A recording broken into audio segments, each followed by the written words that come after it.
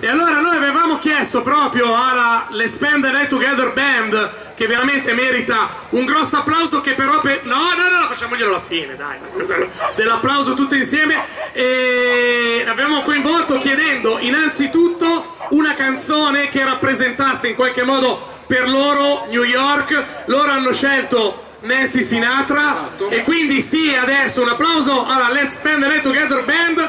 These boots are made for walking. Potete ballare!